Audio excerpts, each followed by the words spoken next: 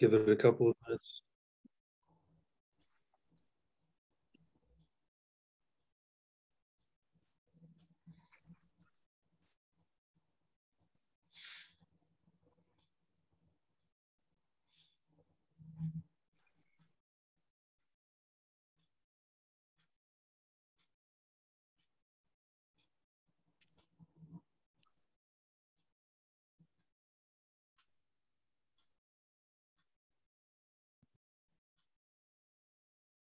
We'll just allow a uh, another few seconds for some some further guests to join. But thank you all for coming today. Um, I'm just going to allow about another 30 seconds or so to see how many people uh, still log in. Hopefully, a few more.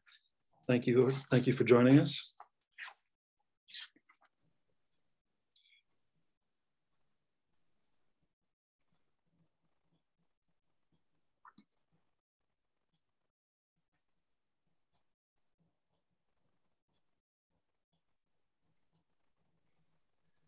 Okay, well, we're a couple minutes past 12, so why don't we go ahead and get started and then other participants will join as we go along. Um, thank you everyone for joining us today. Um, it is a real honor and a privilege to be here representing the Institute of Directors Property and Built Environment Group. My name is Richard Nelson, I'm the chair of the group. Um, and welcome to UK Turkey Real Estate Investment Opportunities we are honored to be joined by our colleagues from Turkey, from DEIK, the Foreign Economic Relations Board of Turkey, and GYODER, the Association of Real Estate Investors of Turkey. Uh, next slide, please. Um, just to give you all the agenda for the day, I'm just doing a quick opening right now, and then I'll quickly hand over to the moderator of the day, uh, Mrs. Aslam Gökçe. She's managing partner of Corvus Invest and also a member of GYODER and DEIK. Um, and then we'll have presentations about five to 10 minutes each from uh, Osman Okyay, Alistair Elder, Mehmet Kalyoncu, myself, and then back for some question and answers at the end. And, and Aslam will do the introductions of all the speakers. Um, just to also let everyone know, um, the Q&A function in Zoom is available. You'll see, you should see a link somewhere on your screen for Q&A please put any questions you'd like to ask to the panel in the Q&A box, and we will come back at the end, uh, 1250, um, to look at some of those questions, and hopefully we can answer everyone's questions, uh, and if not, we'll do our best to come back afterwards um, with answers as a follow-up for everyone. So um, with that, I'd like to hand over to Aslam to give a bit of an introduction and to introduce the speakers. Aslam, over to you. Thank you, Richard. Good afternoon, everybody. It's also an uh, honor and privilege for me too to be in this webinar together with you, and thank you for joining us today. As Richard mentioned, today we are aiming to discuss the collaboration opportunities between the UK and Turkey and uh, in real estate and construction industries, as well as uh, the prospects for the future bilateral trade in these sectors. And we will also have a comprehensive introductions of the four institutions by their high-level representatives. Uh, first of all, I would like to introduce our speakers today. Uh, I would like to start with Mr. Alistair Elder. He is representing IOD uh, Institute of Directors. He is a non-executive director and board advisor at the Institute of Directors uh, and at National Expert Advisory Group. And he's also the managing partner of SGI Partners. Uh, Mr. Osman Okyay, uh, he's the chairman of Turkey uh, UK Business Council under Foreign Economic Relations Board of Turkey, DEIK. He is also the vice chair of Kale Group, which is a uh, diversified holding from construction materials to defense and high-tech industries. Um, Mr. Richard Nelson, yourself, uh, our host today. Uh, he's the chairman of IOD Property and Built Environment Group, and he is also the managing director of Abyss Global. And uh, Mr. Mehmet Kalyoncu, he is the chairman of GYODER the Association of Real Estate Investment Companies of Turkey. And he's also the board member of Kalyon Holding, one of the biggest construction companies of Turkey, which is also a partner of the new Istanbul airport. And uh, I am myself, Özlem Gökçe. I'm the managing partner of Corvus Invest, a UK-based real estate investment and development company. I'm also a board member of Turkey UK Business Council of DEIK, and uh, I'm the ambassador of GYODER for the UK and Europe. As you all know, we, uh, following the Brexit, UK and Turkey has signed the free trade agreement among ourselves and in, in December 2020, which follows up a similar procedures uh, to the pre-Brexit conditions, which actually provided a smooth transition process. Although Turkey is not a European Union country, since we have a customs union agreement with uh, European Union, this agreement had to wait until the official start of Brexit. But then uh, it became the first to be signed just after Brexit. That shows how both countries give importance to the trade and business relations between uh, the two, two countries. Following of our first contacts between DEIK, uh, Turkey UK Business Council, and IOD towards the end of last year, two institutions agreed on working together for fostering economic and trade relations. And we decided to focus on several sectors and contributing on collaboration opportunities between the UK and Turkey. Among many important industries, such as, as you know, automotive, white appliances, and textile are very crucial for our uh, trade uh, relations between U the UK and Turkey. Construction and real estate industries also offer appealing collaboration opportunities. In that regard, IOD's Property and Built Environment Group and GYODER will provide today the sectoral angles of the opportunities that we are going to discuss in our webinar. This webinar is also, we see it as a kickoff for the collaboration among the, these high level and influential institutions for a series of activities that we are planning ahead. In that regard, we aim to introduce these prominent uh, institutions uh, by their top level representatives and focus on the opportunities of the real estate and construction industries. I would like to start with Osman Bey. Uh, and uh, if we can have an introduction of DEIK, as well as a focus on uh, Turkey UK Business Council, and uh, following that, uh, Osman Bey, since you have a time constraint, I would like to address my following question as well to you. Uh, in the perspective of the track record of the UK-Turkey trade relations and volumes, how do you see the impact of the Brexit and what could have been, uh, what could be done additionally to improve the effectiveness of the existing free trade agreement? Um, thank you, Özlem Hanım. Uh, and uh, dear panelists and dear uh, guests, distinguished guests, I would like to welcome you all to today's webinar organized by uh, the Turkey UK Business Council, uh, and the Institute of Directors.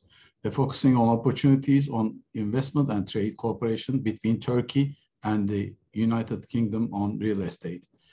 I would like to start by thanking our moderator, Ms. Özlem Gökçe, who has worked tirelessly to organize this webinar and bring us together.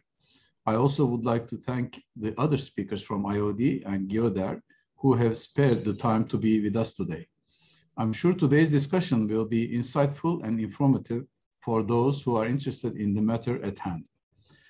I'm sure you're all aware real estate investments in the United Kingdom and Turkey are amongst the most vital and lively areas of interest for investors from both countries.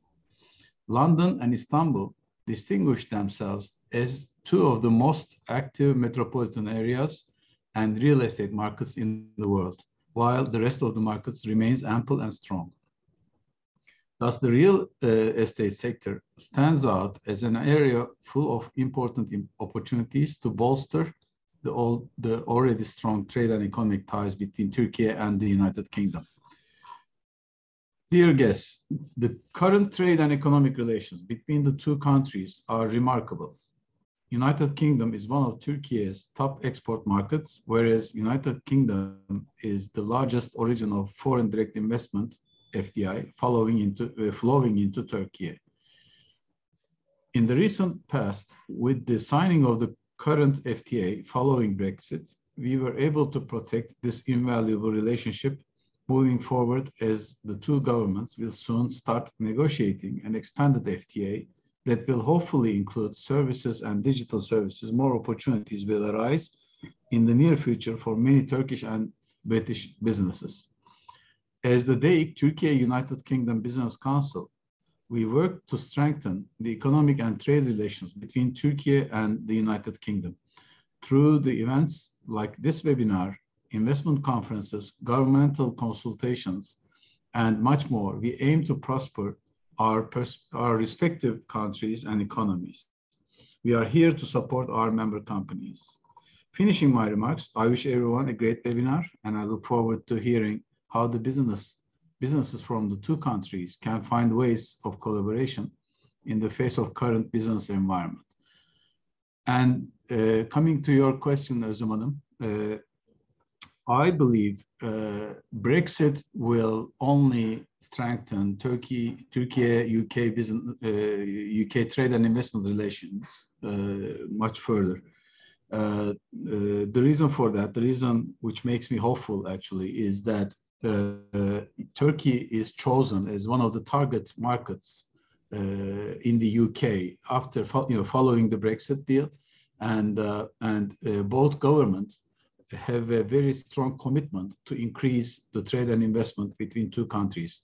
The other reason which makes me very, uh, again, hopeful for the future of Tur Turkey-UK uh, business relations is that uh, the capabilities both countries uh, uh, put forward, uh, bring on the table, are very complementary. So when you have such a such such a set of capabilities uh, which complement each other, uh, there's always business uh, followed by. So um, I also would like to emphasize one more point, which is uh, the third country uh, uh, cooperations.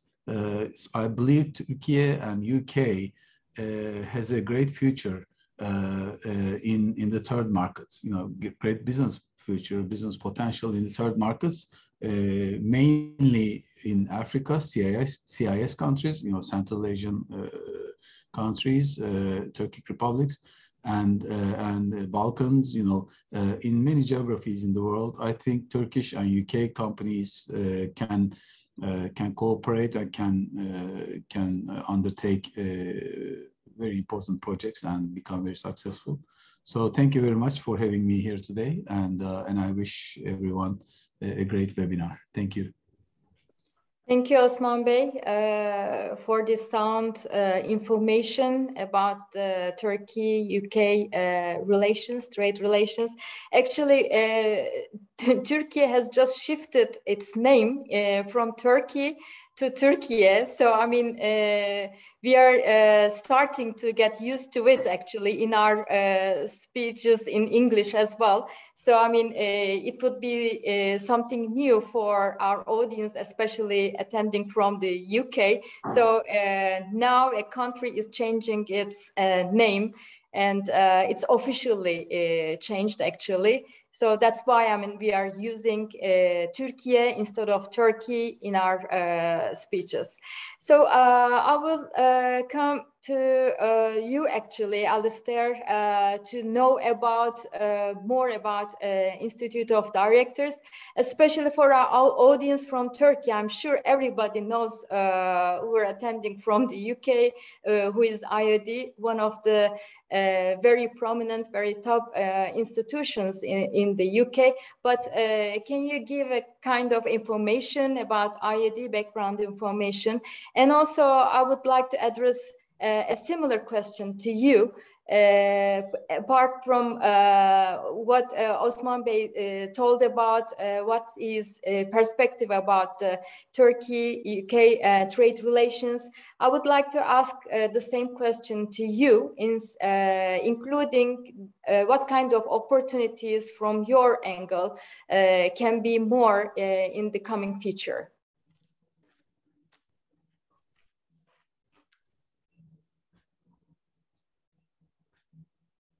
The floor is yours, Alistair.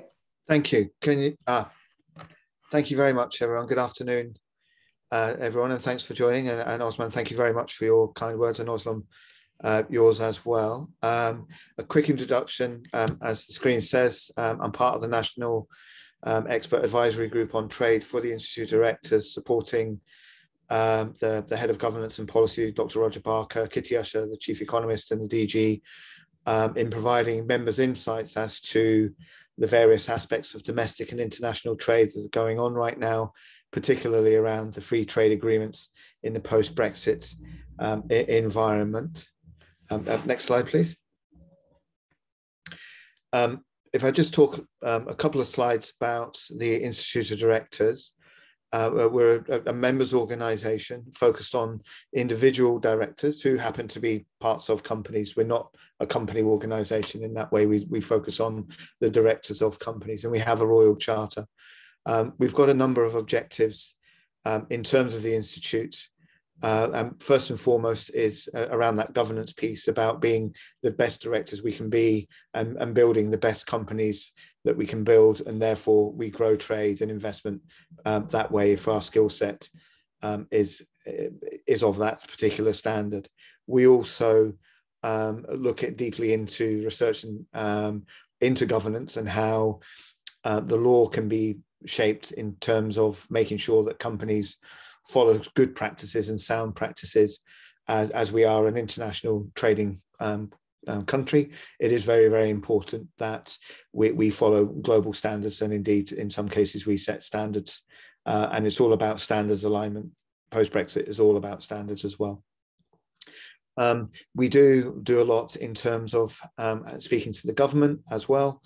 Um, and we the core benefit of all the three areas, ultimately the membership um, get the benefit of all of that support that the organization provides, either from the IOD staff themselves or from um, various people who um, volunteer as ambassadors and branch chairs. So in addition to the trade work I do, I'm also the governance and policy ambassador for the Institute of Directors in Sussex um, in the south of England where I live. Um, next slide, please. So uh, we, we redid our strategy a couple of years ago and we've tried to narrow down into three key areas the main things that we do on behalf of our members.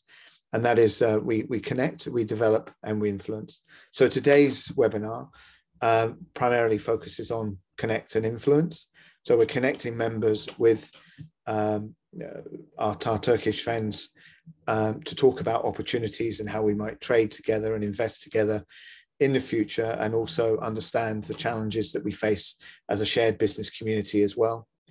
Um, the develop piece again is around, we have a massive program of education and professional development uh, leading up to the chartered director um, uh, qualification, which is a, a hefty qualification and it carries a lot of weight in boardrooms across the UK and further afield internationally. We have many international students um, who follow the chartered director path influence um, is an area I touched on previously regarding the working with other trade bodies, but also with the governments, uh, the UK government, be it regional or local or national government.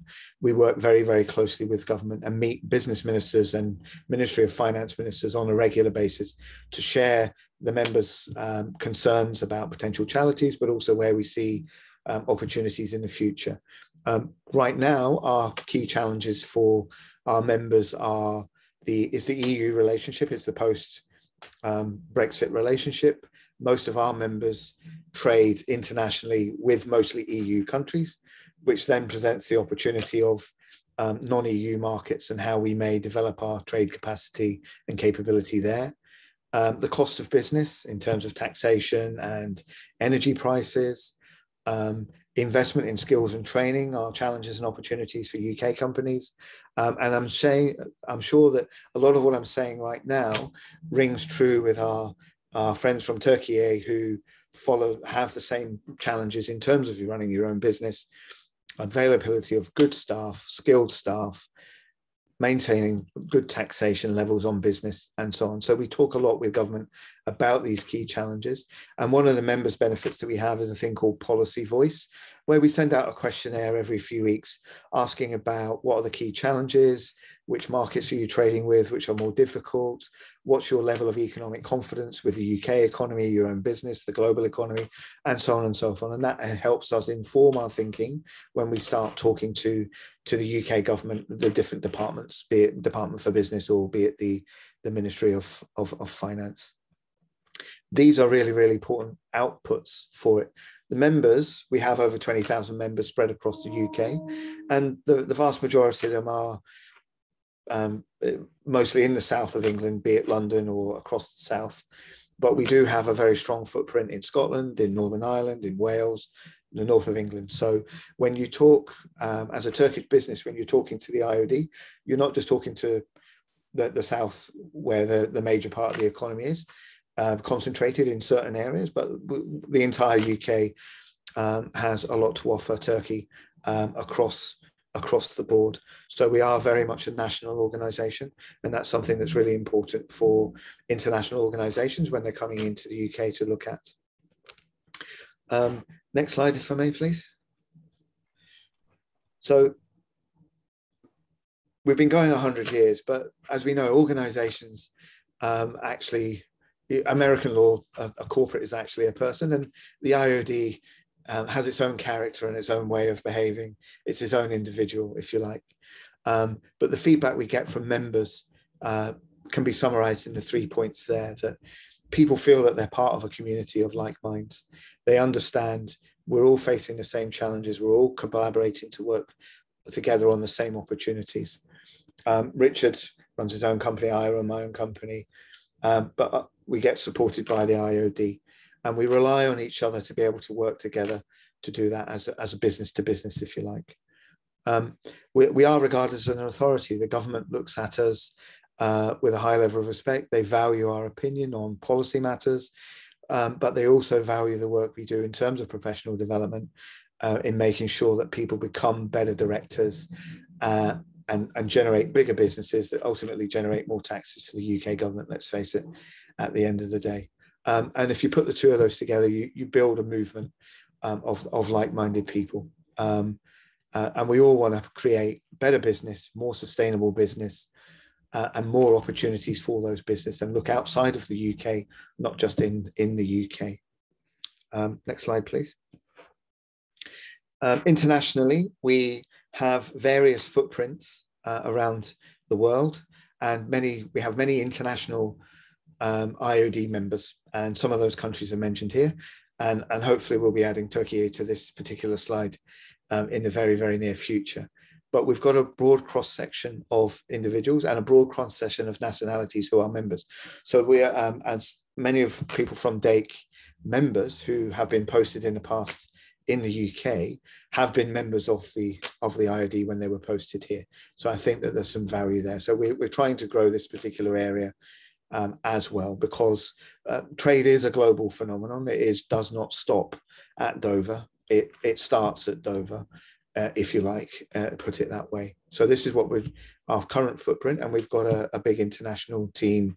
Um, Andrew Lambert's the chair of the London Group for International Trade, which is a very large group within the whole IOD, and we have a, a another colleague, David Stringer-Lamarre, who's the international trade advisor. So what we're trying to do on two levels is expand our international footprint in terms of governance, the professional development, um, getting people involved in our chartered director program and so on and so forth. But then from that will come the economic trade and investment collaboration that we're talking about today. Um, next slide. So as the IOD in DEIK, we're, we're focused on shared objectives. As Oslin mentioned earlier, that there's a series of events have taken place and will take place in different sectors. And we've got shared objectives ultimately coming up to the free trade agreement, the renegotiation of that next phase uh, of 2.0.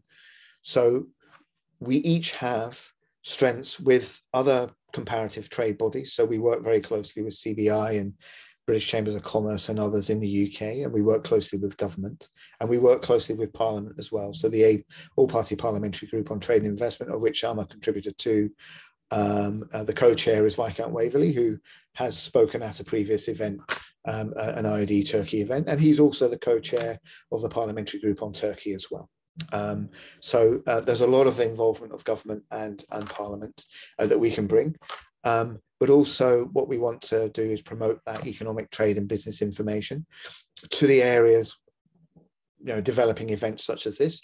But also the plan in the future would be to develop um, investment conferences, perhaps one in the UK one year, then one in Turkey the next year, and so on. So we want to develop a process where we're at a policy level, we're working together, but equally we're also working together on a trade and investment uh, um, basis. And in the future, if there, there's a plane with a with a bunch of IOD members going off to Turkey and, a bunch of DEIK members coming from Turkey to here, then that would be absolutely fantastic. And we're actually trading together as well as doing the policy stuff. So these are the outcomes. The objectives are there, but the outcomes are better trade, better investment, and better working together. And that's that was my final slide. So to answer your question, Oslam, the the the big area the IOD members often focus on is, is the services area. Many of our members are services. We have a strong contingent in terms of manufacturing and engineering, but we also have a big contingent on the services area. So the some of the priorities for the next round of negotiation, and you know, we hope to form um, a joint business working group with all the UK trade bodies and DEIK so that our businesses and investors are aligned in our messaging to our government. So the big area for us moving forward would, would be the enhancement of the services relationship, but also um, to take uh, uh, full knowledge from Turkey in terms of how UK companies can collaborate even more in terms of manufacturing and engineering, um, B2B, B2C, B2G. So really the opportunities are wide um, and, and deep as well, because in the post-Brexit environment, I, have been advising organizations since 2017, 2018 on how to de-risk their EU business, if you like, and start looking at different markets um, beyond uh, the EU. So those these transitions are um, can be difficult. So we need to make sure that we have a trade agreement that facilitates that and many large companies have already got the resources, but I think there's a real opportunity for this trade agreement to have a really strong SME chapter that supports SMEs um, in being able to trade with each other between the UK and Turkey. I think um, a lot of a lot of the work we do as the expert advisory group on trade is we we're asked, we're asked to consult by Department for International Trade. What do we think can happen in the Switzerland agreement, or what do we think about GCC and UK trade agreement, and so on and so forth. So we've contributed to these sort of thoughts. But the recurring theme is also the SMEs. The vast majority of UK exporters, um, in terms of numbers of companies, are SMEs. But the value of the exports that they do in terms of dollars is much lower. So, for instance, approximately 10% of our exports globally um, uh, is done by um, very large companies, corporates, MNCs, uh, in, in, terms of the numbers of the companies that do exports. But actually, the value in terms of dollars is 50% of our global trade, 55% of our global trade is held by 10% of the companies in terms of number. So you flip that around, 90% generate 55%. So if, if our 90% can get even bigger, then there's real opportunities for trade um, across the world. So, and I think SMEs underpin most economies, um, and I'm sure that the Turkish economy is the same. That most of it is delivered through SMEs. So uh, we look forward to that process in terms of uh, working with DEIK on that and our governments on that area.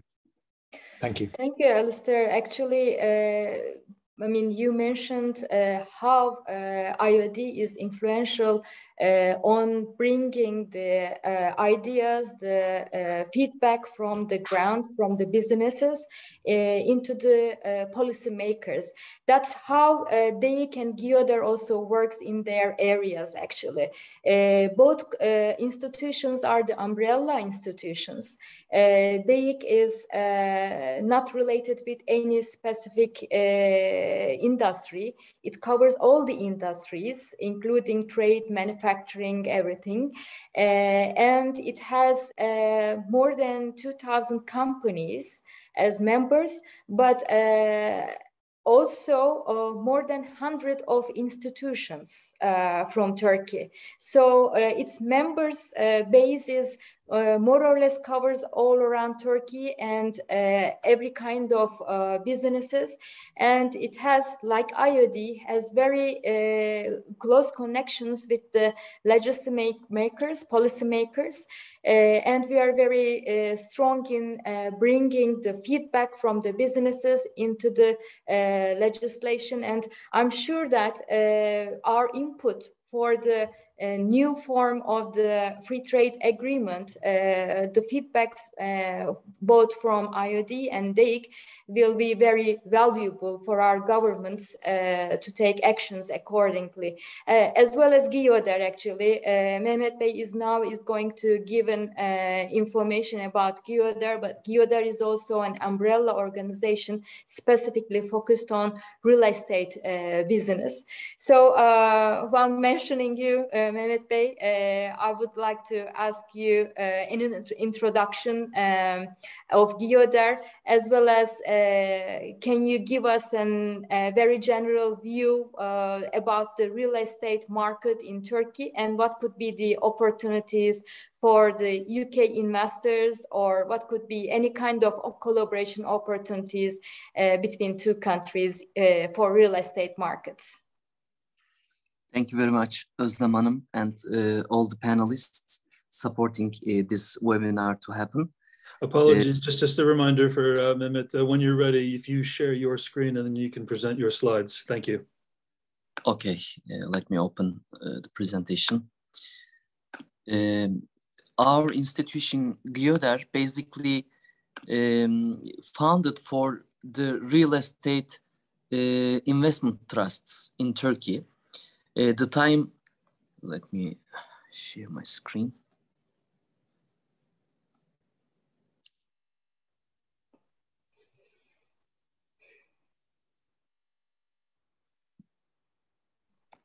Hmm.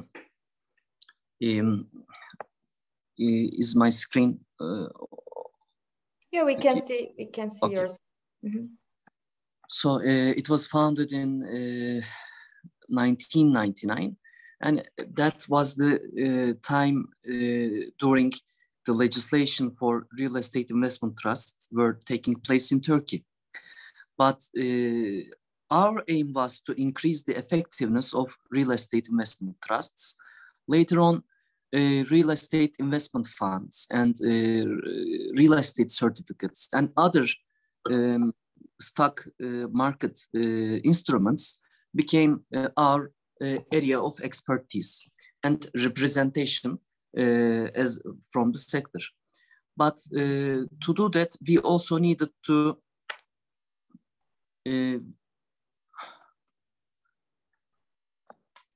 we also needed to touch on the problems of uh, real estate sector. Uh, so uh, these are the areas where our institution started to operate. This is our board. so I will uh, move quickly. There are people from real estate developers, real estate investment trusts, architects, uh, consultancy companies, uh, from representatives of big four to contractors to tourism companies. So we are and startups. Uh, we are trying to cover all the value chain of built environment in our uh, NGO. And these are the committees which are the um, production centers of our NGO. Each committee also has a team of 10 to 15 people so that we are really putting the joint effort and joint ideas together and uh, bringing our feedbacks and recommendations to the decision makers uh, in the government and also sharing these with a greater public. Uh, our members is our uh, our strength, like any other business non-governmental organization. We are trying to be, bring people together, and also this year we started to increase the international relations uh, in this term. Uh, publicly, we are uh, trying to increase the uh, image of real estate sector, which needs an increase uh, in Turkey. Um, and also uh, communication and lobbying is uh, very important. Our uh, institution is not only doesn't only consist of um, directors, I can say, but all the um, all the players from different levels uh, of real estate sectors are involved in GYODER activities. Uh, as I said, international uh, diplomacy in increasing commercial activity between these countries, United States, UK and UAE, has just started and we are trying to make meaningful connections we have four areas that we can simplify, which is technology in real estate and construction. Uh, for that purpose, we uh, founded a center as we call PropTech Hub to support PropTech startups in Turkey. Uh, art and design is also one key area of GYODER. Nature is one key area. For that, we are working very closely with our governments for the establishment of Turkey's local green building certificate and society, of course, is one area. We support projects that give back to society and as GYODER, as uh, bringing the sector together, we are also uh, promoting social uh, impact projects.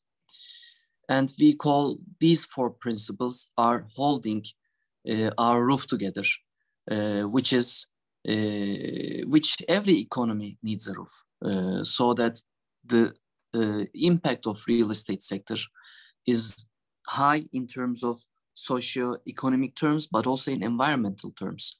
So we are uh, trying our best to balance that. Our key event is Real Estate Summit, which is going to be uh, 17th this year on October 25. Everybody is invited. Uh, this year, uh, we will we are trying to do a very good summit we do developing cities summit. Uh, these were made uh, from Bursa to Konya, Gaziantep, Izmir, uh, cities of Turkey developing really fast, uh, but not as popular as Istanbul. Uh, our target is to make uh, this summit also outside Turkey to see and understand the dynamics of developing cities.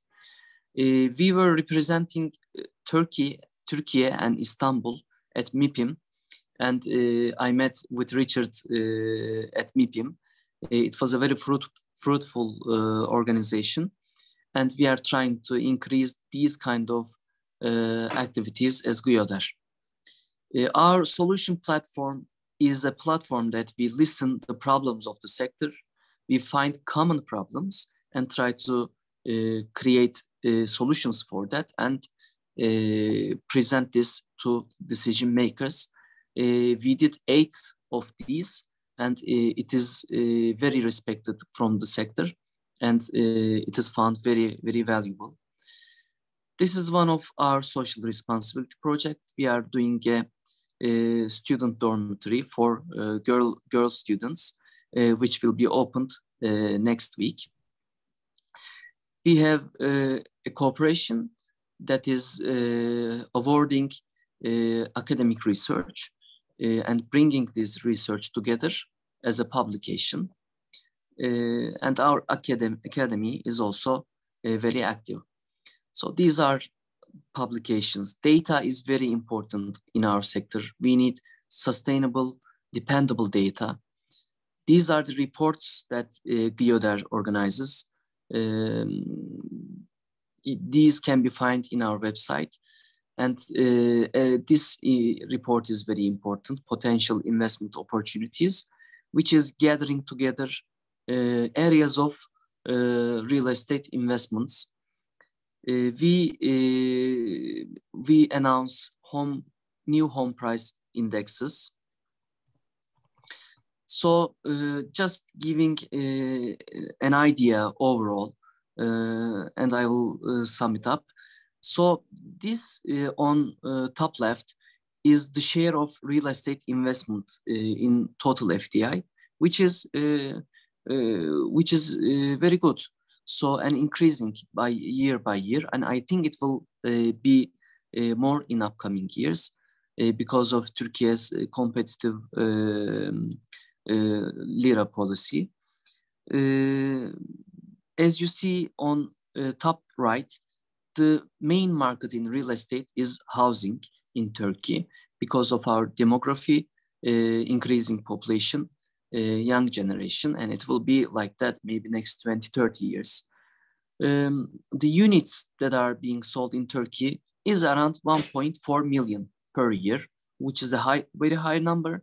And you see the distribution between first sale and second-hand sale. Uh, the share of uh, buyers from abroad is uh, around 5% of general sales, but it is increasing and government increased uh, the citizenship program, which was, I think, around $200,000 uh, uh, to $400,000. And uh, also, I, I know that uh, they are working on a um, program which is not providing citizenship, but um, other other opportunities. Office market is saturated, I can say, like the rest of the world.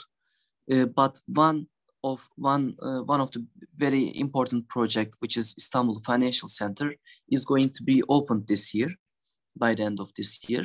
Uh, it is also going to uh, affect the office market very much.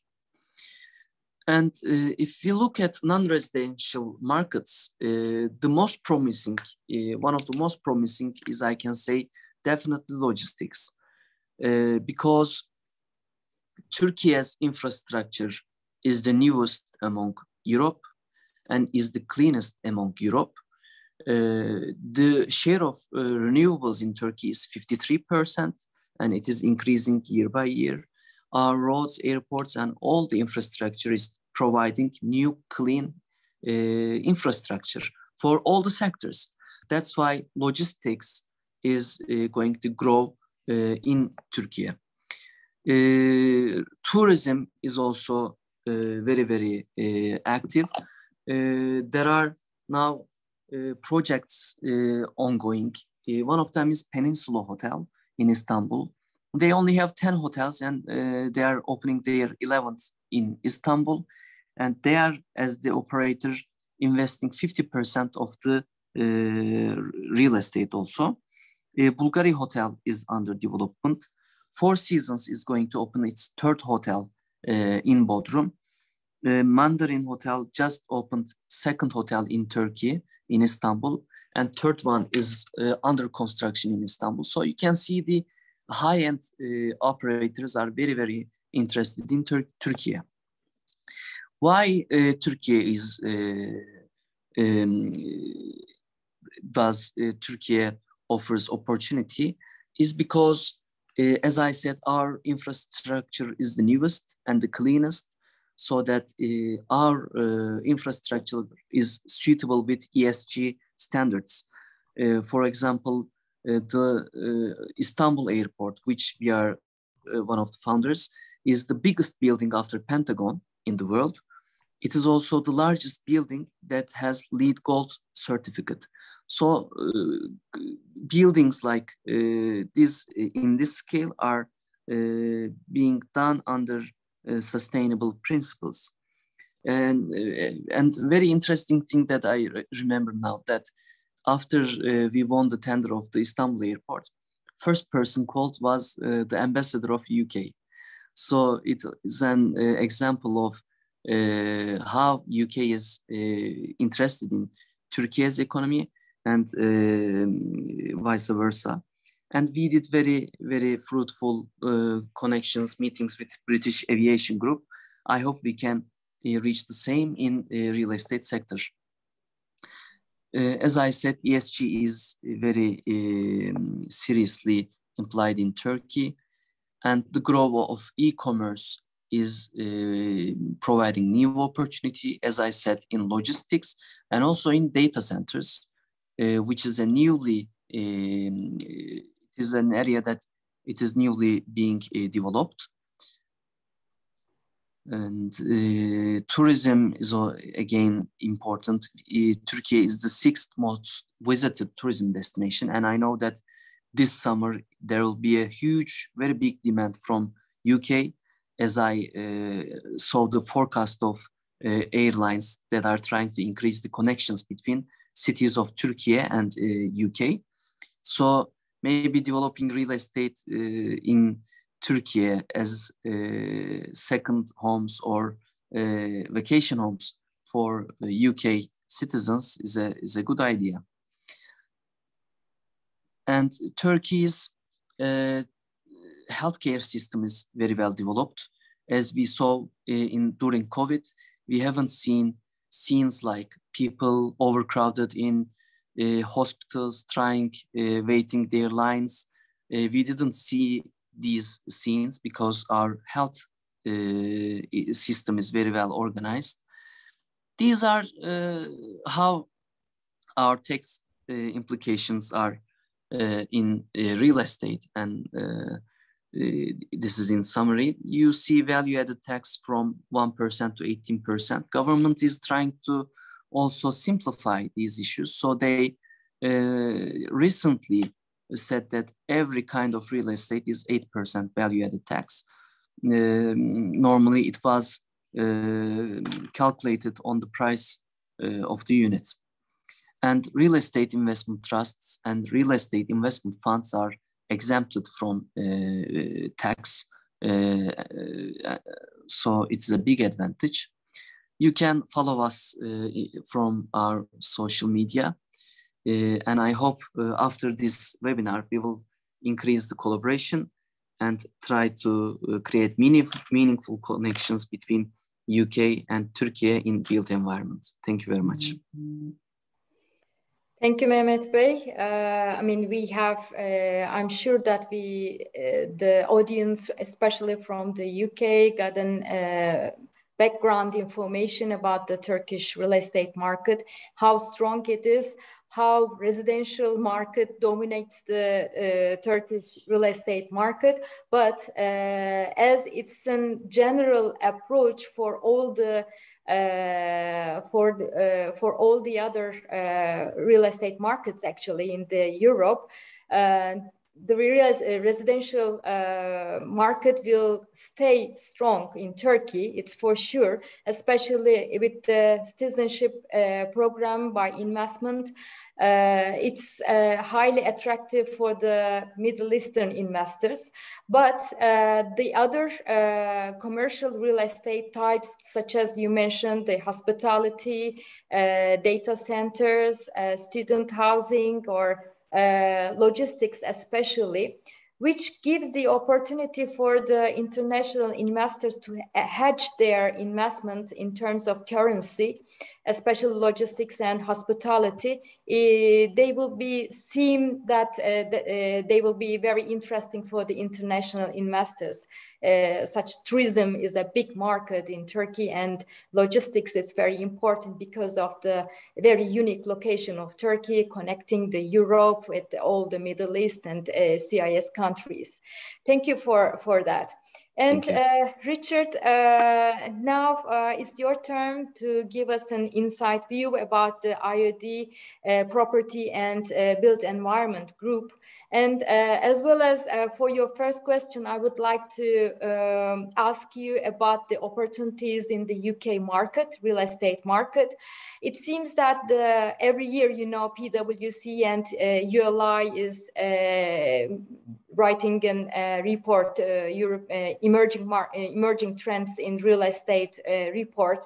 And in this year's report that London seems again uh, as the first position, gained the first position again after a couple of years for prospects. So it's also seen that uh, the, there is a, a, shift from the investment into the office market, for example, into the residential market in all forms, such as build to rent or student housing or care homes. So, I mean, uh, in the light of this information, uh, what could be the opportunities for Turkish investors or for or Turkish contractors in the UK uh, real estate market? Thank you very much, Aslam. And, and, I hope by going through some of my presentation, I can answer the questions because I do actually have a few things that, that I hope will, will, will give an answer to some of the questions you mentioned. So um, so thank you very much for that. And thank you to all the other speakers for their incredibly valuable contributions. Uh, nice to see you again, everyone. Richard Nelson here, Chair of the Property and Built Environment Group for the Institute of Directors. Um, and just a quick plug on the social media. Here's the link for our LinkedIn page uh, on this title page for you to see. Um, but you can also search for us on LinkedIn and find us fairly easily. So um, I'll just give a quick overview of our group and then talk a little bit about the UK market conditions and answer Aslam's questions in the, in the context of that as well. Um, next slide, please. So what are we all about? As, as a special interest group within the Institute of Directors, um, we focus on the property and the built environment, and that's a major contribution to the UK economy. When you put it all together, real estate, construction, infrastructure, and the businesses working in that sector contribute around 13% to the UK's GDP. So we're, we're not a small voice when it comes to speaking with government. Um, but we are a bit of an old industry. Anyone who works in the industry knows that it's quite traditional in many ways, and it's also quite fragmented. Um, and therefore, there's a real pressure for us to modernize and innovate, um, particularly in the post Brexit world when we need to be a lot more efficient and productive um, because we have a much smaller labor pool to pull from. Uh, and we're seeing some of the results of that recently, which you may have seen in the news. Um, but in the construction sector and real estate sector, um, it's made up of quite a lot of SMEs. If you see the, the final bullet on this page, approximately 20% of the SMEs in London are in property and construction. And that's a significant number. It nods back to Alistair's comments earlier around SMEs and how they um, they make up a large percentage of the companies operating, but not necessarily the value. So we're trying to do what we can to help them grow as businesses. Uh, next slide, please. So our group, Property and Built Environment, is a center of excellence for our members who share this interest. We look after directors, leaders, up and coming leaders in the property and built environment industry.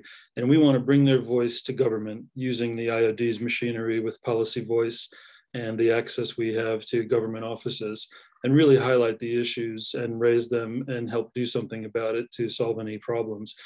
Um, we also want to be an inclusive community and the vital resource for directors, um, going back to some of what Alistair told us about the IOD's mission of, of connect, develop, and influence.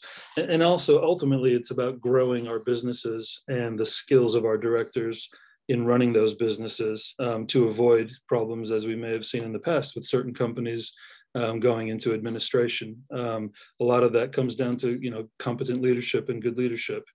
Uh, next slide, please.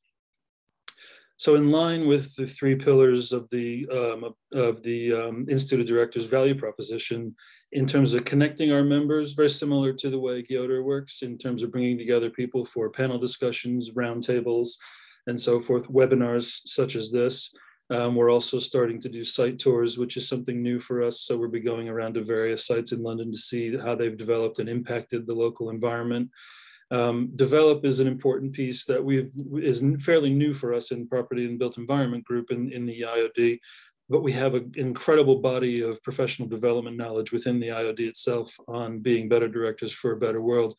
We're going to tailor some of that to our members that work in property and the built environment and offer them some resources in association with some partners, uh, perhaps GYODER itself, um, but also some other organizations that we're teaming up with. And then on the influence side, getting involved with our policy team to input into government, conduct some research, um, and through our industry collaborations, as well as raising our profile in the media uh, as well. So uh, next slide, please. We've put together a fantastic team. It's grown. We only had a few members uh, uh on the board of the Property and Built Environment Group a few years ago. We're now up to nine, which you see here. Uh, I won't name them all. Um, but we have a, a, group that covers all of the responsibilities of a professional organization. Um, again, as a special interest group within the IOD. So we work hand in hand with the IOD's head office uh, and the team there to help put on all of our activities and to leverage the strength of the organization. So um, just a nod to my team there, a fantastic group to work with, and uh, I'm sure we'll be growing in the future. So um, next slide, please the approach that we have in terms of the themes and the topics that we're focused on are very similar to GYODER, actually. Um, we look at the key themes that our, that our members say are important to them. Um, so investment is probably first and foremost. Um, sustainability is on everybody's minds these days, and that's across the, the triple E, so the environmental, economic, and uh, sorry, and social. Um, infrastructure is key. Uh, we're not just about real estate, we're about infrastructure and construction as well, and the two go very much hand in hand. Um, technology is very important. It's impacting the industry in a, in a massive way. Um, and we're very interested in seeing how that can develop and, and support the industry in the future. Um, design is something that's close to my heart. I've worked in architecture and, and design for a long time. Um, so it's very important that we design our buildings and places uh, with people in mind and, and make sure that that value is there at the end of the day. And then last but not least, international. And it's through bilateral um, events like this and looking at sharing best practice and resources um, between us and our partners, as well as facilitating for our members who work internationally uh, business connections for them. Next, please. Um, to this end, we've got an absolutely packed calendar. Um, we used to be pre-pandemic, we, we did approximately two events per year. Um, now, as you can see, we're doing quite a bit more than that. Um, and it's because everybody wants to get back to networking and being with each other. And that's how we learn, how we grow, how we make connections and do business. Um, so on a monthly basis, we're getting together for what we call the third Wednesday PBE Connect events. Um, and we're, we're fortunate enough to have a wonderful champagne bar at the IOD headquarters at 116 Pall Mall. So we have them there. Um, but we also have other events around learning, development, and growing growth for our members. Um, so today's event is a perfect example. It's giving everybody the opportunity to learn about um, the opportunities in Turkey and, and vice versa for our Turkish guests to learn about the opportunities in the UK. Um, we'll be touring the Queen Elizabeth Olympic Park next month. We've got an opportunity to do an, an event on transport-oriented developments in the autumn and, and so forth. Uh, and we'll be looking into much more in-depth opportunities for the next year as well. So next, please. We also realize that we don't have all the answers ourselves. And so we are looking to partner with other organizations where we can share content and research and get involved in professional development. So uh, to that end, we, we have a partnership that we launched with New London Architecture earlier this year, and we'll be sharing some resources with them going forward. UKREiiF is an organization that I'm on the advisory board for. This is the new UK Real Estate Investment and Infrastructure Forum. And, and I can say for, for Turkish investors in particular, it is the one place where you can get an absolute mountain of information about the opportunities in the UK real estate market. Um, I, I, hesitate to call it a mini MIPIM for the UK because they, they want to have their own reputation and not be always compared to MIPIM. Um, but if you've been to MIPIM, then you'll get an idea of what UKREiiF is like. It's just focused on the UK market primarily. So uh, really good organization. And we're also looking at the uh, social and academic partnerships that we can establish links within the IOD. Um, so for example, we have a relationship with London South Bank University, and we're hoping to build on that with their construction and real estate program. Uh, also institutions like the Bartlett School at the University College London, um, and social organizations like Black Professionals in Construction, who we've been speaking with as well. Uh, next, please. So the future for us going forward is continuing to push on the professional development side and offer some real opportunities for growth to our members um, building further partnerships um, that's both in the UK and abroad with other organizations. Growing our membership, of course, is, is one of our top responsibilities. Um, but then engaging in policy to allow that to happen, to give us that influence that we need as the organization uh, Institute of Directors sponsorships are key because we need those low, those wonderful partners to uh, to help us um, fund and develop our program. So we're looking for sponsors to partner with and and help them grow as well because we can be a platform for them to reach out to to our market. Um, and going national is an important one. Um, the IOD, as Alistair mentioned earlier, is, is national and international in scope. Um, and to date, the Property and Built Environment Group has largely been operating in London, um, but we've had a few conversations with colleagues in places like Leeds, Manchester, Birmingham, uh, about branching out nationally and, and, covering those major markets as well. So that's quite important to, to the future of our organization. Um, so turning now a bit to hopefully answering Aslam's early questions about the UK economy and the UK real estate market. Uh, next, please. Um, just a bit of an overview, um, some data recently on what's happening in the UK market. Um, GDP was up in the UK very slightly in the first quarter, but it's now turned to a situation where it's, it's slowing or falling. Um, in March, GDP shrank by 0.1%. Um, in, in services and manufacturing, they were down by 0.2%. But interestingly, construction was up 1.7%. Now, uh, anyone who's been working in construction long enough will know that that the industry is has about a six month lag on the general economy. So um, while the numbers look very good in construction right now, there's potential for some headwind uh, going into the rest of 2022 and into 2023. Um, not least of which is related to things like interest rates and inflation, supply chain issues, certainly the Ukraine conflict and geopolitics. Um, uh, we talked a little bit earlier about you know the issues um, related to um, um, shared challenges, and um, uh, I think you know there's going to be there's going to be a little bit more to come in terms of um, economic confidence. Uh, that's that's one of the key things that drives investment decisions is confidence. Um, the IOD, in fact, does a Director Economic Confidence Index, and we just released the May survey, and it's at its lowest since October 2020. So that will weigh on investment decisions going forward. Uh, next, please. Um, Aslam mentioned the uh, Urban Land Institute and PwC survey, obviously a resource that we pay attention to as well. Um, and, and yes, London is traditionally a great market for real estate investment. As you can see here, um, from Q4 2020 to Q3 21, London was the biggest investment market in Europe for real estate at 16 billion euros.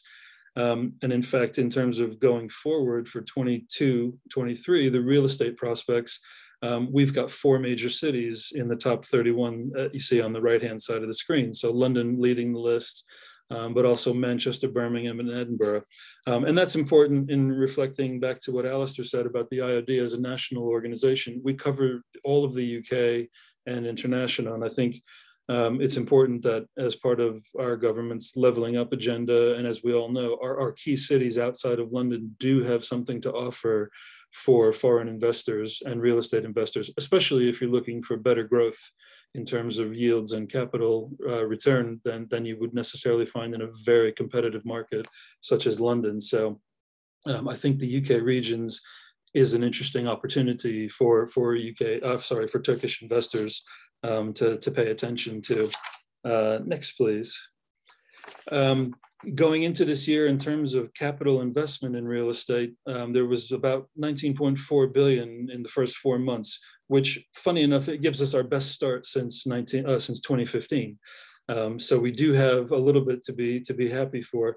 Um, that may change going into the back end of the year. It remains to be seen. Interestingly, overseas capital accounts for over half of that number.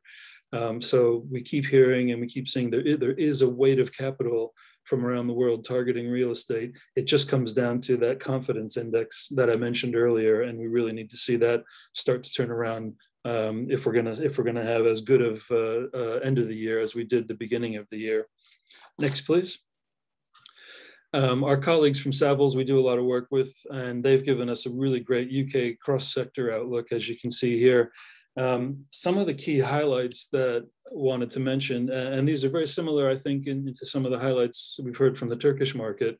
Um, industrial and distribution are two very, you know, front of the line. They're they're leading uh, the real estate investment sector right now, and also construction. And, and there's some reasons for that. Some very specific reasons for that is this shift to online retail, which has been an absolute uh, boom, uh, especially since the beginning of the pandemic.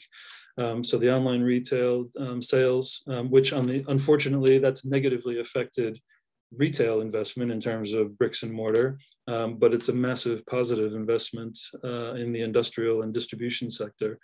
Um, last mile delivery has become um, a very important thing as well. I mean, I've got, I know from my own experience, sometimes I order from Amazon in the morning and it's there by the afternoon. Even, even if I didn't say I need it by the afternoon, it shows up anyway. Um, so it just shows the attention they're putting into last mile delivery infrastructure. Um, land is an interesting one, and that's come onto Savills um, list as a very high priority in terms of capital growth and potential yield growth down the road, a little bit more long term on the yields. Um, but land is important because of a couple of reasons. Certainly, the Ukraine conflict has highlighted our need to have a bit more security in our agriculture stock. And so looking to get land uh, to be a bit more productive locally in the UK is an important thing. But also with the government's drive to go net zero by 2050, carbon sequestration is another opportunity for land stocks. Um, so that is driving the opportunity in, in turning uh, livestock land, for example, into these uh, sequestration sites. Um, we talked about residential in, in, Turkey as a strong market. It's very strong in the UK. And, and, and Aslam actually mentioned it's interesting how the market here is maturing and there are some subsectors that are coming through. Um, uh, purpose-built student accommodation has become a mature sector in the UK over the last couple of years. Now, build to rent is now seen as a mature sector as well. Um, you're getting the, the, point now where we've got a lot of institutional investors um, flooding into that market, and therefore the returns may be a bit more modest, but they're very secure and stable. Uh, and that's the important thing to recognize in that sector that there's a long-term growth aspect to it now. Um, and that will filter into other parts of the residential sector, such as affordable housing, which there's some serious um, room for growth in that. And it's, it's seen as an alternative right now, but it may be time, time to start looking at it as more mainstream. Um, and also things like senior housing. Senior housing is a very important sector that needs to grow in the UK. Um, a lot of the reason it hasn't grown so much in the past is because we've had some trouble getting the right operators into that sector, but they're, they're now coming and they're in the market. So there'll be a lot of growth there. Offices are a bit um, moribund right now, but there's some room for change. And I think what we're seeing with investors in, in the sector there on offices is it's about changing the ESG credentials of the office. It's making it more sympathetic to hybrid working more sympathetic to you know larger spaces for different uses. It's not just people sitting at a desk working anymore. We can do that from our homes and anywhere we want if we're office workers. Um, it's about those collaboration spaces, those workspaces, maybe some private space for for thinking and contemplating. Um, but the office environment is ripe for change, and and we see not necessarily massive returns in the next couple of years, but certainly a lot of change which from a design and construction standpoint will present some opportunities. And then there's some alternative sectors that are quite strong. Um, as the UK looks to reskill its workforce, um, because as I mentioned earlier, we've lost quite a, quite a workforce um, pulling out of the EU. Um, so we need to do the reskilling effort. And there, so there's a big push in education um, at, at vocational and technical level as well as university level um, and that has a strong social value. So for firms, for, for investors who are looking for that, the S part of the ESG component, there's a strong social value in, in education. Data centers um, was mentioned earlier as well, and it, it's not on the Savills list there, but it is a massive, massive market. Um, it's looking at about 13% annual growth per annum uh, from now through 2027. Um, and interestingly, um, you know, I read a, a recent story in uh, The Economist last week about how um, the, the, the, big issue in data centers right now is connecting to the grid. We don't have enough electricity to power all these data centers. Um, so between the growth in battery storage facilities, the growth in data centers, and generally the growth in, in other sectors like residential, there's just not enough to go around. In fact, West London uh, Ealing issued a letter telling developers that they may not be able to connect to the grid with the right capacity until 2027 to 2030. Um, and I know a colleague, uh, Mustafa Erdem, is on, on the on the call today, and uh, he's he's a counselor and uh, he's a um, director of the Hounslow Chamber of Commerce. he probably knows exactly what I'm talking about. Data centers, it's, it's an important sector, but it's one that we have to keep up with on the infrastructure side. And therein might be some opportunities for Turkish investors, particularly if you're involved in renewables, which you can see comes in at the bottom of my list, just under affordable housing there. Um, I'll come back to affordable housing um, quickly. There's, a, again, a big social value there. There's room to grow in that sector. It's a long-term stable income because it's got government-backed guarantees.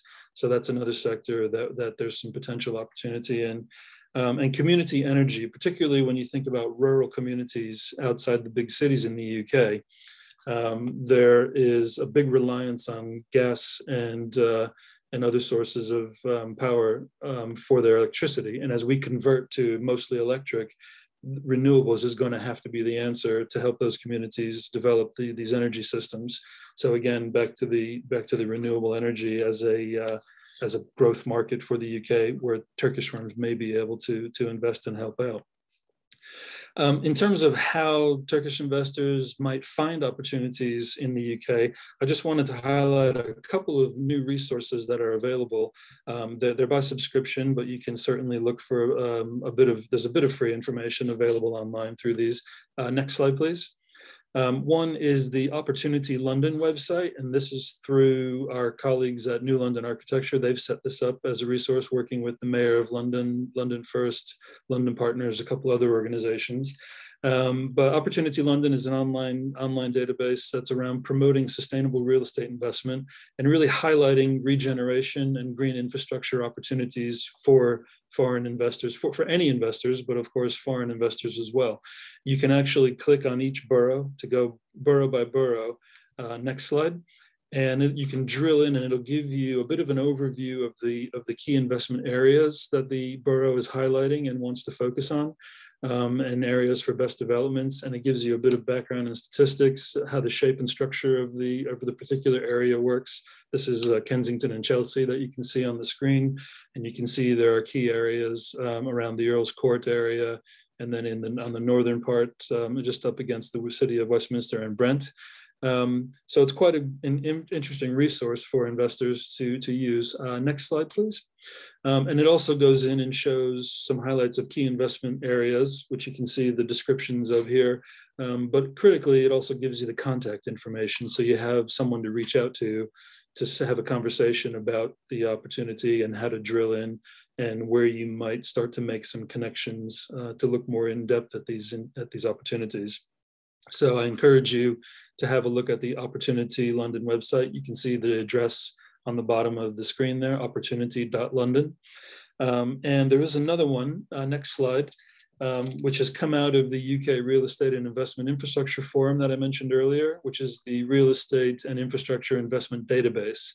Um, I don't have, I have just this one slide on, on the REID database, but it's basically looking more UK wide. So not just London, but all the other major cities and major areas of the UK. And this will connect public sector and landowners with private sector investors and developers. So it's a big resource to highlight all the major opportunities and, and the big opportunity areas around the UK and to make connections between developers, investors, and the landowners and public sector in particular, who owns quite a lot of the land in these major cities.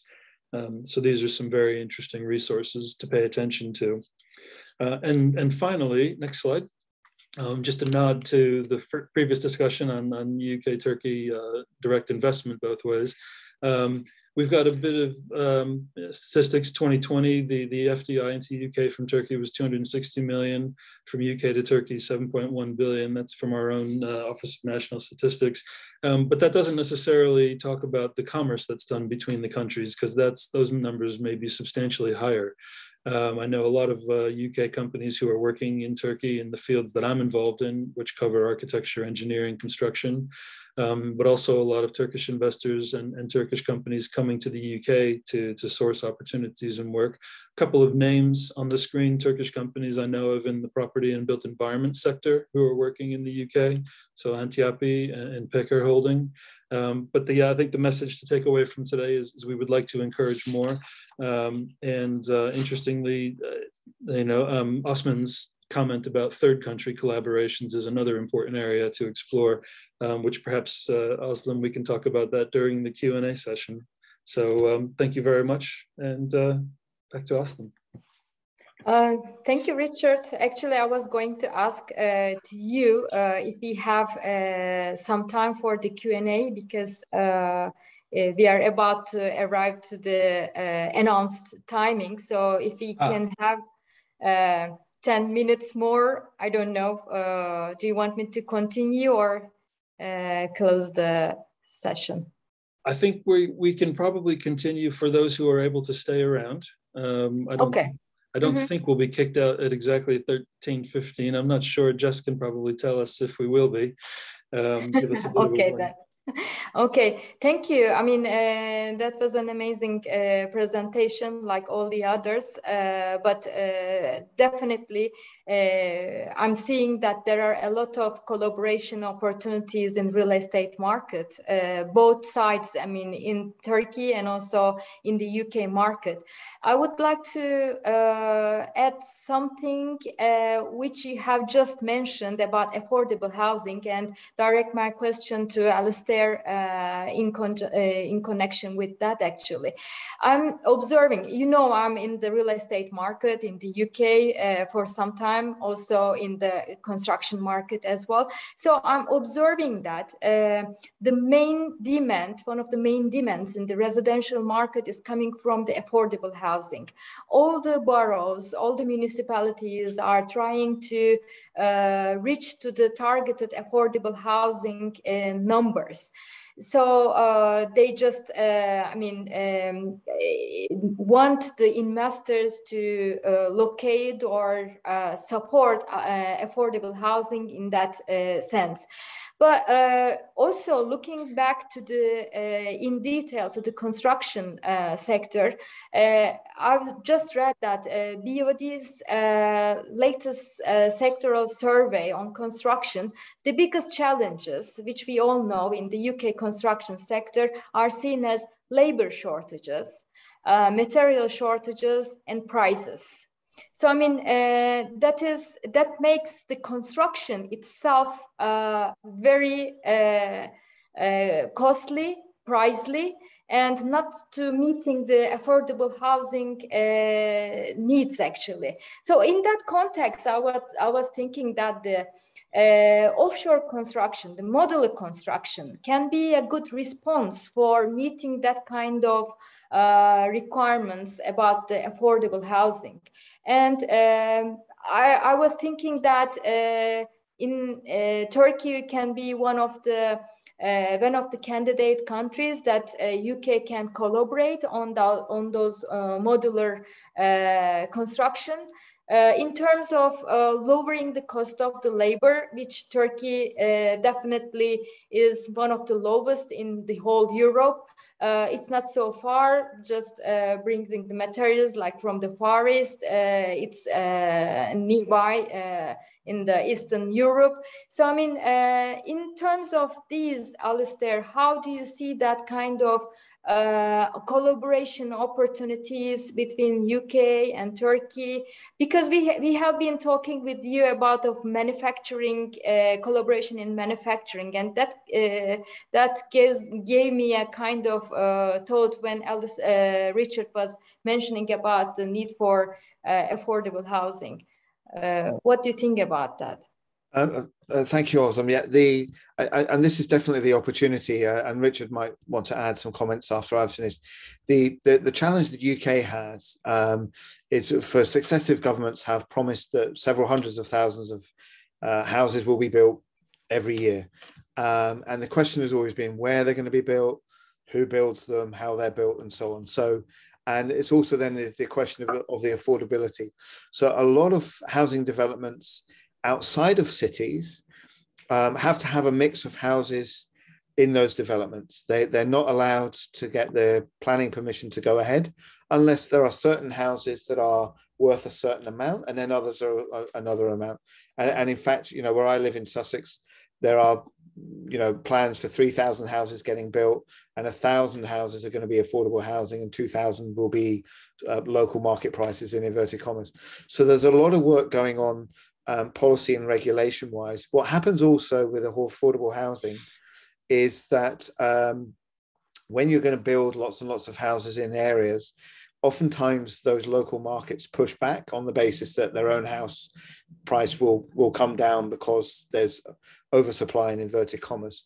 So um, the government is trying to wrestle with different bits of the market um, and the banks and availability of mortgages for different people and so on and so forth.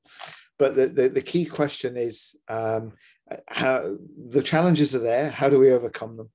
And um, the, the modular approach was mentioned um, uh, just yesterday um, in, in, some of the media, they were talking about the modular approach to housing. And I know that Turkey, from my time in the Middle East, I know that Turkey's got very, very strong experience in modular construction. Um, and there were some big Turkish companies all over the Middle East with different levels of modular construction, be it uh, remote location stuff or to um, houses, like, you know, that would be absolutely uh, uh, beautiful houses. And I think that there's also um, a market um, awareness as well. In the UK, when people think of modular, um, they think of um, cabins and basic, whereas actually modular can be quite luxurious. Um, so I think there's a bit of work to be done on the marketing side as well, if I may say that. Richard may, uh, again, as, as the expert in this area, will probably add, add a few bits. But uh, so I think that the uh, your point about skills and materials, materials is one thing.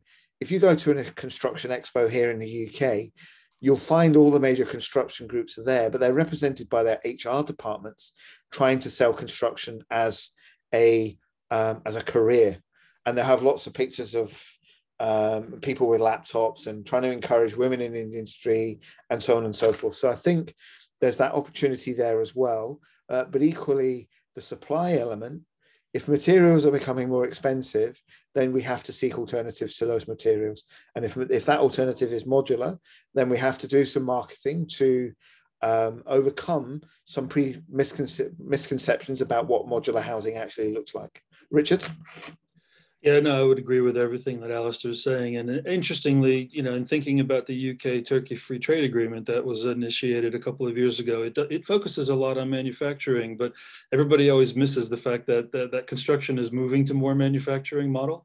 Um, and you know we've done a great deal when it comes to machinery and automobile parts and things like that between the countries. But if we can start looking at opportunities to, to consider manufactured construction, uh, maybe that can fall into some of those incentives to make it a bit easier and more cost efficient to do business in, in, in that way. I think, um, as Alice just said, there is a lot of lot of impetus, um, and I mentioned it in my presentation as well. This idea of modernizing and innovating in the industry, um, modular and offsite is is taking off. Everybody's doing it. Everybody's looking for ways to do it. Certainly, what's interesting in the UK is all of our designers and engineers, and, and I can see my colleague John Griffiths from WT Partnership on the on the Q and A. Um, you know, our across our QSs and uh, and uh, project managers, we all know conceptually and and um, design wise how to do it. It's the production capacity that we don't have in the UK to keep up with that demand. If, if there's some answers we can get from our colleagues in Turkey, I think that is well worth exploring. And, and I don't know if Mehmet has any comments in that area, but it's certainly an opportunity for further discussion and growth. No, no question about it. Thank you, Alistair. Thank you, Richard. Um, uh, I also uh, would like to mention about another area that I think there would be an opportunity because uh, I'm uh, seeing that uh, the UK government is planning to construct around 40 new hospitals uh, until 2030 and to renew the existing 70 of them as well. And uh, you know, Turkey uh, recently in the last five uh, to eight years has uh, constructed uh, big city hospitals uh, fully, uh, I mean, uh, equipped and with very big capacities. That's why, I mean, uh, I think Turkey uh, didn't suffer a lot during the uh, early stages of pandemic. I mean, and differentiated itself from the rest of the neighbors actually.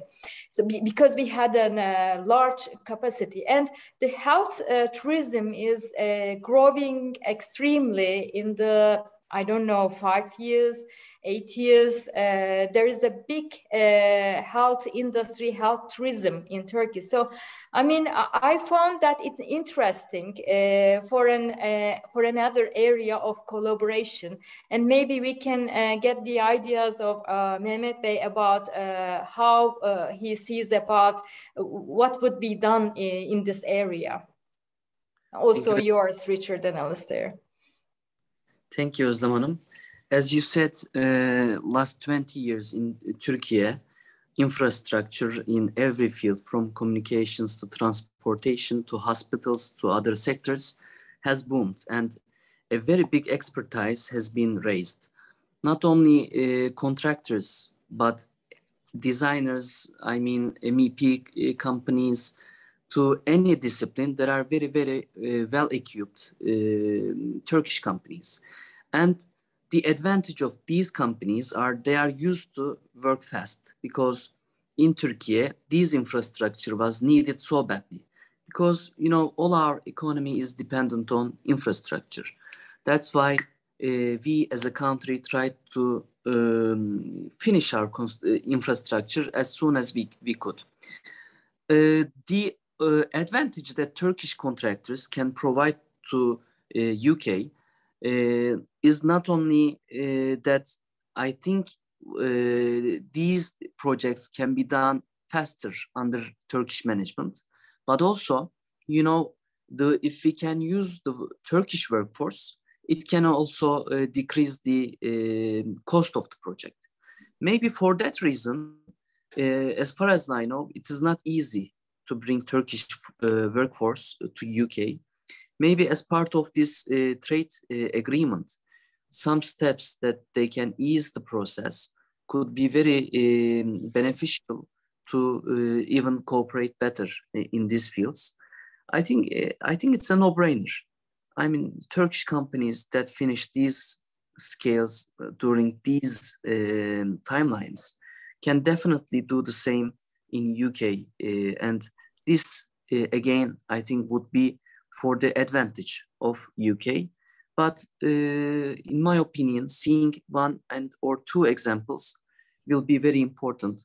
For example, in Qatar, in UAE, in Saudi Arabia, uh, Turkey, and now starting in Balkans and East uh, Europe, uh, Turkish contractors are doing the significant, very strategic infrastructure because it is known from an other company or from an engineering company. So the community is bringing themselves together for that market.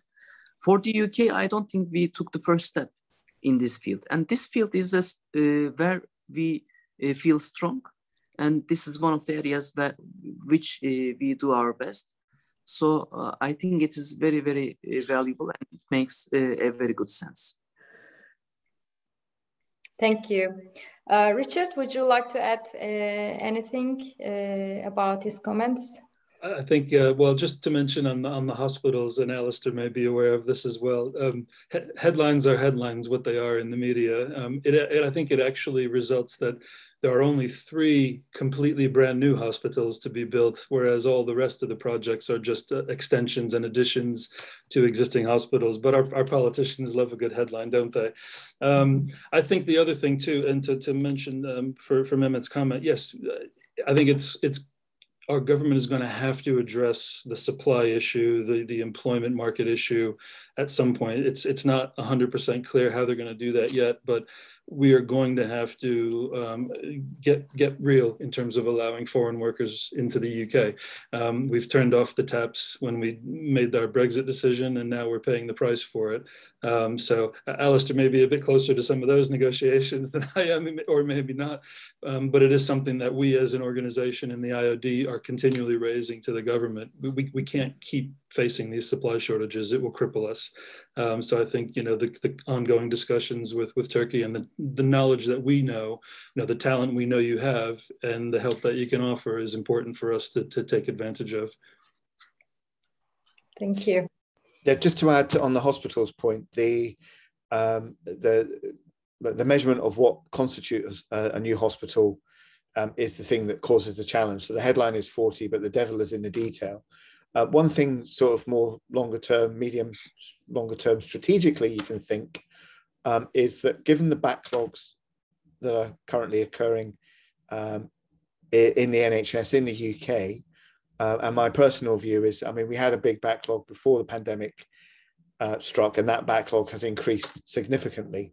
Um, so we, we can anticipate that the private health sector will also um, require additional infrastructure moving forward. Um, I'm sure that the uh, while health services will probably remain free at the point of, of delivery, uh, the involvement of the private healthcare sector in delivering some of those services will increase, and they will need infrastructure to do that. So um, I, I, would say that while the the government spend on hospitals might be slightly um, smaller than sort of advertised in inverted commas, um, there you I don't think you can rule out there would be some growth in the private sector um, for construction. Uh, I'm not sure, but perhaps that is another area uh, to consider. Um, as far as the uh, movement of labour, um, the non-EU migration to the UK has actually increased after Brexit um, and has more than increased than the level of EU migration. So our net overall migration is higher than before Brexit because the EU non-EU numbers. Um, uh, so um, the UK government uh, has put forward a, an immigration policy based on needs of skills and has a list of um, uh, roles and jobs that are classed as uh, necess necess necessities for the growth of the UK economy, similar to other countries. Um, and, and different countries are having negotiations on free trade agreements with the UK and different countries have got different requirements in terms of types of professional movement. So, for instance, some countries uh, want sort of professional services to be opened up. Other countries want different aspects of um, uh, jobs to be opened up. So I'm sure these are discussions that are held on an individual basis between countries, uh, and the government will deal with them on an individual basis. I'm sure. Thank you, Alistair. Actually, uh, I've been also witnessing some interest for the uh, private healthcare investments, uh, especially from Turkey into the UK market, because you know uh, we can get the, uh, I mean, uh, the idea from the investors' point of view. We are working uh, from investors, both from Turkey and also from Europe, so into the UK market. So, I mean, there is such kind of interest uh, seeing that uh, opportunity in the especially in the private healthcare system actually as you mentioned. Uh, yes, that, that's an, I think, a reality after the COVID uh, for the UK. So, uh, Richard, I think uh, we can close now if you uh, agree with me. Uh, we have used the Q&A part as well. I'm checking if there is any further questions from the audience, but I don't see. so, uh, I would like to thank uh, for being together with us uh, today, our all uh, speakers, all the audience, and uh, especially thank you, uh, Richard, for hosting us. And thank you for your valuable contributions. I mean, as I mentioned, it's going to be the first opening webinar for our future activities. As Alistair mentioned, uh, we are also uh, willing to organize uh, trade missions to both countries to, to uh, I mean, uh, strengthen our relations. Also, Mehmet Bey uh, has mentioned about the real estate summit of GYODER in October. So you're very welcome to join us is going to be uh, the MIPIM of Turkey. At some point, it was having the MIPIM Istanbul name as well. Uh, so uh, I would like to thank you uh, all again and looking forward to meet again uh, sooner. Thank you very much, Aslim. And uh, Jess, I just have a couple final slides to, to wrap things up. Thank you so much, Aslim and, and Mehmet for your contributions, Alistair as well. And Osman is gone, but Osman thank him well. very much, uh, very much as well. Um, so what a great, um, what a great presentation, a good kickoff, I think, for our cooperation. Um, and we're very much looking forward to working on the next one. Uh, so keep your ears to the ground and we will announce in due course our next uh, um, combined presentation. Um, just a couple before I get into a couple of upcoming events for the IOD. Um, from from Osman's uh, presentation, some things I pulled out. Brexit will strengthen UK-Turkey relations. I think that's absolutely true. Um, as we look to establish great trade agreements with our partners over the over over the world. Um, and that um, you know we've certainly targeted each other as, as partners, um, which is a great thing. Um, and there's a lot of complementary capabilities. He also mentioned the third country collaborations. Um, I know from my own experience it's already happening. Um, the architecture firm that I represent, Scott Brownrigg, uh, does a lot of airport work. We've done several airports in Africa working with Turkish contractors, very, very successful. Uh, we also worked in Turkey on the Istanbul airport, which Mehmet is very close to as well.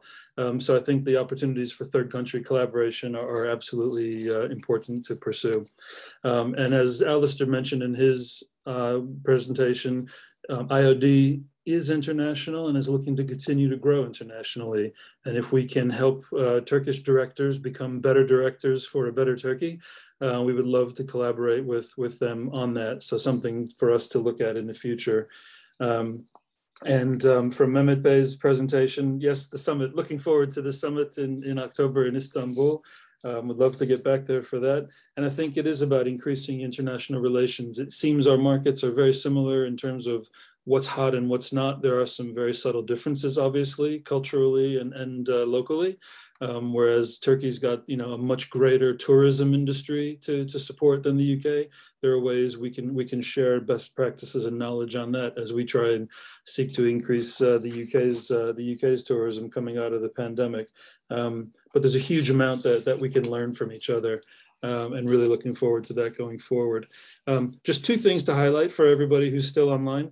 We've got the summer economic update with the Bank of England and our chief economist from the IOD, Kitty Ussher. That's happening on June 20th. Um, it is an in-person event for IOD members only, um, but I probably suspect that that one will be recorded as well for, for broadcast. We'll certainly do a, a roundup of it afterwards. Um, and next slide, please. Um, we have our next live property and built environment event on July 7th we will be touring the Queen Elizabeth Olympic Park to see the legacy that's taken place over the last 10 years since the 2012 London Olympic Games. Um, and we will be combining this with a summer reception at the New London Architecture Gallery, which recently moved to Westfield Stratford City. So that will be happening on July 7th. And as you'll see from the link on the bottom, visit, um, sorry, iod.com slash events. You can find all of IOD events, including a number of online events uh, coming up that can be drilled, that can be signed into from overseas. Um, in fact, on 21st of June, we are having a webinar on doing business in China. Um, so we'll have a group looking at the opportunities um, for business in China um, so if anyone's interested in that, you'll find that on iod.com slash events. Um, and with that, I'll draw proceedings to the close. Thank you very much. Um, my email is property.london at iod.com. Uh, that's my IOD email. Please, if anyone has any questions, reach out to me. Thank you all for joining us, and we'll make the recording available in due course. Thank you very much. Thank you. Bye-bye. Thanks, everyone. Really good to see you.